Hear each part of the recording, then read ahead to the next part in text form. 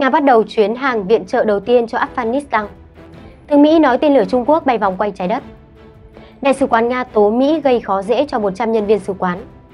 Trong một tháng phi hành đoàn Trung Quốc sống trên trạm vũ trụ mặt sương húp. Hơn 50 triệu con cua đỏ ồ ạt di cư từ rừng ra biển, nhuộm đỏ đường xá.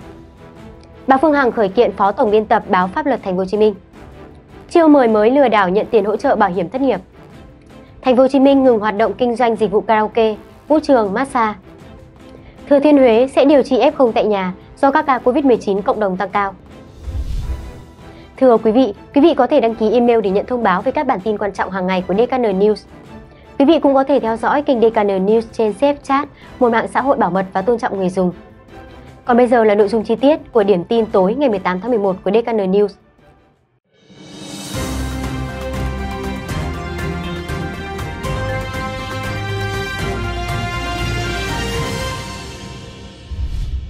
Theo TASS, tờ Ivestia đưa tin, đại sứ Nga tại Kabul Dreschai Novus cho biết Moscow sẽ chuyển chuyến hàng viện trợ nhân đạo đầu tiên cho Afghanistan trong ngày 18 tháng 11, gồm 36 tấn lương thực, thuốc men và hàng hóa thiết yếu. Đại sứ Juno cho hay, các chuyến bay đặc biệt của Bộ Quốc phòng Nga sẽ chuyển tới Afghanistan một chuyến hàng viện trợ nhân đạo lớn, trong đó có lương thực, thuốc men và hàng hóa thiết yếu. 36 tấn hàng đầu tiên sẽ được chuyển vào ngày 18 tháng 11 và sau đó sẽ còn hai chuyến nữa. Tổng cộng hơn 100 tấn hàng viện trợ nhân đạo sẽ được cung cấp cho Afghanistan. Theo nhà ngoại giao Nga, phong trào Taliban đã đảm nhận hàng viện trợ sẽ được phân phát cho người cần. Điều đó là cần thiết, giới chức Afghanistan hiểu được rằng bất kỳ sai lầm nào sẽ làm phức tạp thêm công việc của họ với các nhà tài trợ nước ngoài. Đại sứ Nga cho biết thêm công dân Nga sẽ được sơ tán khỏi Afghanistan trên các chuyến bay khứ hồi. Gần 900 sinh viên Afghanistan ở các trường đại học của Nga đã đăng ký chuyến bay xuất cảnh để tiếp tục chương trình học tập của mình. Từ ngày 25 đến 26 tháng 8 vừa qua, Bộ Quốc phòng Nga đã thực hiện các chuyến bay rời khỏi Afghanistan cho những công dân Nga, Belarus, Kyrgyzstan, Tajikistan và Uzbekistan đang tìm kiếm hỗ trợ để hồi hương. Bộ Ngoại giao Nga khẳng định đó không phải là công tác sơ tán mà là sự hỗ trợ các công dân về nước vốn đang gặp những điều kiện khó khăn trong bối cảnh tình hình chính trị quân sự ở Afghanistan đang có những thay đổi đáng kể. Từ Titan nói vũ khí siêu vượt âm Trung Quốc bay quanh trái đất trong thử nghiệm hồi đầu hè cảnh báo Mỹ có thể bị tấn công bất ngờ. Họ đã phóng một tên lửa tầm xa, tên lửa bay một vòng quanh trái đất, thả một phương tiện lướt siêu Việt âm quay trở lại mục tiêu ở Trung Quốc. Đại tướng John Hyten, Phó Chủ tịch Hội đồng Tham mưu trưởng Liên quân Mỹ, nói trên kênh CBS ngày 16 tháng 11. Khi được hỏi liệu vũ khí siêu vượt âm của Trung Quốc có bắn trúng mục tiêu hay không, Hyten nói đủ gần.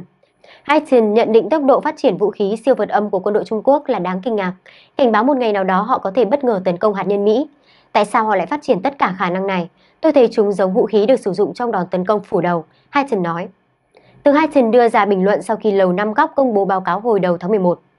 Trong đó cảnh báo Trung Quốc đang nhanh chóng mở rộng kho vũ khí hạt nhân và có thể sở hữu 1.000 đầu đạn vào cuối thập kỷ này. Mỹ đang sở hữu 3.750 đầu đạn hạt nhân, lớn hơn nhiều lần quy mô kho dự trữ hạt nhân của Trung Quốc.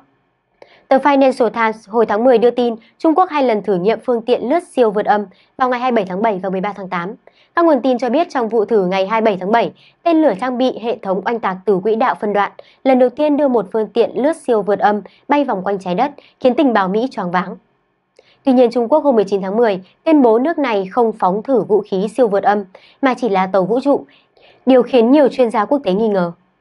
Lầu Năm Góc coi phát triển vũ khí siêu vượt âm là ưu tiên hàng đầu khi Nga và Trung Quốc đã biên chế hoặc hoàn thiện một số vũ khí loại này. Mỹ gặp thất bại trong vụ thử tên lửa siêu vượt âm hồi tháng 10. Song Lầu Năm Góc khẳng định họ vẫn đang trong quá trình hoàn thiện và bàn giao tên lửa siêu vượt âm trong vài năm tới. Đại sứ Nga tại Washington Anatoly Antonov cho biết Mỹ đang trì hoãn việc gia hạn thị thực hoặc cấp giấy phép nhập cảnh cho khoảng 100 nhân viên sứ quán Nga. Phát biểu với báo giới, đại quán Antono nêu rõ, các cơ quan của chúng tôi ở nước ngoài gặp rất nhiều vấn đề. Khoảng 60 người cùng với gia đình của họ là 155 người. Vẫn đang ở đại sứ quán và lãnh sự quán Nga tại Mỹ. Phía Mỹ đang trì hoãn việc gia hạn thị thực của họ. Khoảng 40 nhân viên đang chờ giấy phép nhập cảnh ở Moscow. Nhiều người trong số họ đã ở trong danh sách chờ hơn một năm nay. Liên quan đến quan hệ Nga-Mỹ, đại sứ Antono cho biết, Cả Moscow và Washington đều hiểu sự cần thiết của việc duy trì liên lạc giữa Tổng thống Nga Putin và người đồng cấp Mỹ Joe Biden, song vẫn còn quá sớm để nói các kế hoạch cụ thể. Ông khẳng định Moscow dự định giảm thiểu tối đa những vấn đề gây bất đồng với Washington. Nga và Mỹ đã tổ chức các cuộc tham vấn về các vấn đề liên quan đến công tác ngoại giao trong ngày 17 tháng 11 tại Vienna. Về cuộc họp này, đại sứ Antonio nhấn mạnh, cuộc họp đã thảo luận hàng loạt vấn đề liên quan đến hoạt động của các phái đoàn ngoại giao, bao gồm vấn đề thị thực, quy định thông báo về việc di chuyển các nhà ngoại giao, vấn đề tịch thu tài sản ngoại giao. Mặc dù có những bất đồng, song phía Nga nhắm tới điều tích cực là giảm thiểu nhiều nhất có thể những vấn đề gây bất đồng với Mỹ, nhằm tìm kiếm các giải pháp mà hai bên cùng chấp nhận được. Ngày 16 tháng 11, người dân Trung Quốc đã gửi lời chúc phúc đến các phi hành gia Ya Yigang, Wang Jiping và Ye Wangfu. Những người đã sống và làm việc trong mô đun lần lõi thiên hòa của trạm vũ trụ Thiên Cung đúng một tháng kể từ khi họ bay vào quỹ đạo. Trước đó, ngày 16 tháng 10 năm 2021, tàu vũ trụ Thần Châu 13 đã được phóng từ trung tâm phóng vệ tinh Tử Tuyền tại Tây Bắc Trung Quốc bằng tên lửa đẩy trường trinh 2F, mang theo bao nhà du hành với nhiệm vụ xây dựng trạm vũ trụ Thiên Cung. Các nhà du hành ở trên vũ trụ 6 tháng, khoảng thời gian dài nhất đối với các nhà du hành gia vũ trụ Trung Quốc. Khoảng 30 triệu cư dân mạng Trung Quốc đã tham gia vào cuộc thảo luận trực tuyến về sự kiện này và đã gửi những thông điệp bày tỏ sự quan tâm đến ba nhà du hành vũ trụ. Một số người tò mò khi nhìn thấy những hình ảnh mới nhất của ba phi hành gia với khuôn mặt sưng húp trước ống kính. Trong điều kiện không trọng lực, chất lỏng bên trong cơ thể sẽ đi lên mặt và đầu của các phi hành gia, khiến mặt họ trông sưng tấy. Đây là hiện tượng phổ biến không chỉ đối với các phi hành gia Trung Quốc, mà đối với tất cả các phi hành gia trên mọi thế giới. Bang Di Khao, chuyên gia vũ trụ cấp cao có trụ sở tại Bắc Kinh cho biết. Theo kế hoạch, các phi hành gia Trung Quốc sẽ thực hiện từ 2 đến 3 hoạt động bên ngoài của tàu vũ trụ, lắp đặt các thiết bị quan trọng cho cánh tay cơ học cũng như thí nghiệm và ứng dụng khoa học khác nhau. Trung Quốc bắt đầu xây dựng trạm vũ trụ từ tháng 4 năm nay với việc phóng Thiên Hòa, modular lớn nhất trong ba modular của trạm, lên quỹ đạo. Có kích thước lớn hơn một chiếc xe buýt, Thiên Hòa sẽ là không gian sống của các phi hành gia sau khi trạm vũ trụ hoàn tất. Theo tờ Daily Mail, hành trình từ rừng ra biển này diễn ra ở công viên quốc gia tại vùng cực Tây Bắc ở bang Australia. Người dân địa phương và du khách đã ghi lại hình ảnh một trong những cuộc di cư lớn nhất của động vật trên trái đất. Hơn 50 triệu con cua đã nhuộm đỏ hòn đảo. Lũ cua bò ngổn ngang khắp đường, cầu, suối nhằm tới đích kịp thời để sinh sản. Cua đỏ thường xuất hiện ở những địa điểm kỳ lạ khi chúng di chuyển qua vách đá và vào thành phố. Nhân viên trên đảo Christmas đã dành vài tháng qua để chuẩn bị cho cuộc di cư của cua đỏ. Họ đã xây các cầu đặc biệt dành riêng cho cua và dựng rào chắn tạm thời. Tiến sĩ Tania Deto, điều phối viên chương trình về các loài xâm lấn tại đảo Christmas, cho biết khu vực này chưa từng thấy nhiều cua di cư như thế từ năm 2005. Nhóm của ông Deto đã dành phần lớn thời gian để quản lý các cây cầu và tấm chắn để giúp cua an toàn khi ra khỏi khu vực Fryfish Họ dựng rào chắn tạm thời dài hàng km, dựng biển báo và chặn các đường khắp đảo để bảo vệ cua. Ông Deto cho biết mặc dù các chuyên gia ở Christmas có thể dự đoán sơ bộ tuyến đường loài cua này sẽ di chuyển nhưng chúng có thay đổi chút ít mỗi năm. Mặc dù có một số con cua mắc kẹt khi leo lên các tòa nhà hoặc rơi xuống từ vách đá, nhưng đa số đều sống sót. Mùa di cư thường bắt đầu khi đợt mưa đầu tiên chút xuống trong mùa mưa từ tháng 10 đến tới tháng 11. Sau vài ngày mưa liên tục đầu tháng này, cua được bắt đầu rời chỗ để hành quân về bãi biển. Chúng chọn con cái trên đường di cư. Thời điểm và tốc độ di cư chính xác được xác định bằng chu kỳ mặt trăng, dự đoán cua đẻ trứng vào ngày 29 hoặc 30 tháng 11 này. Loài cua đỏ thông minh biết tính toán chính xác thời gian rời nơi ở để tới bãi biển kịp thời nhằm đẻ trứng nhiều nhất. Mỗi con cua cái sẽ đẻ tới 100.000 trứng ở Ấn Độ Dương trong 5 hoặc 6 đêm liên tục trong thời gian di chuyển.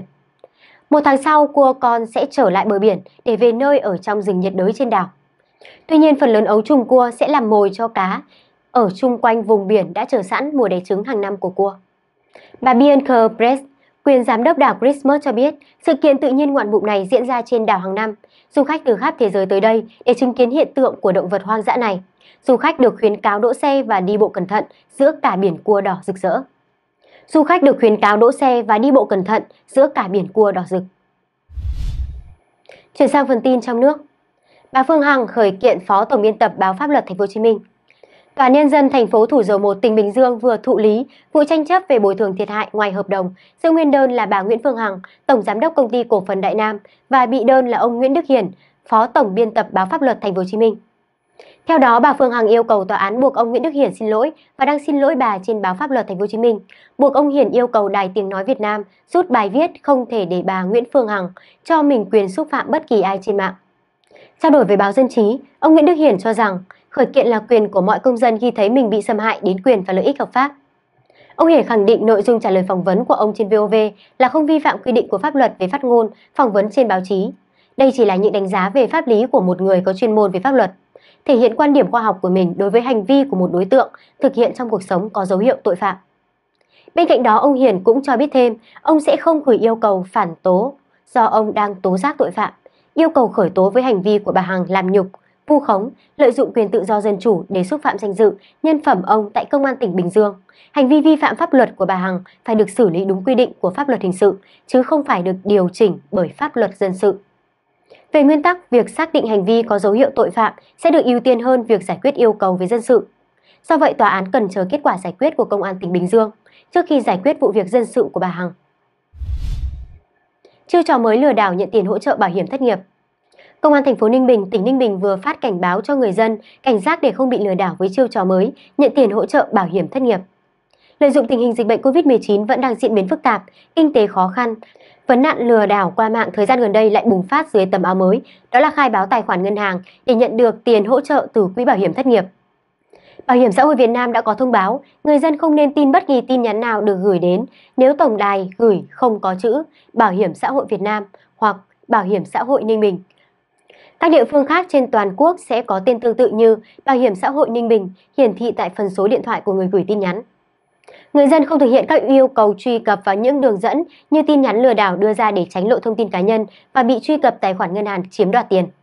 Kịp thời thông báo cho cơ quan công an nơi gần nhất hoặc trực ban hình sự công an thành phố Ninh Bình theo số điện thoại 02293 891 199 nếu phát hiện có dấu hiệu lừa đảo để có biện pháp ngăn chặn và xử lý.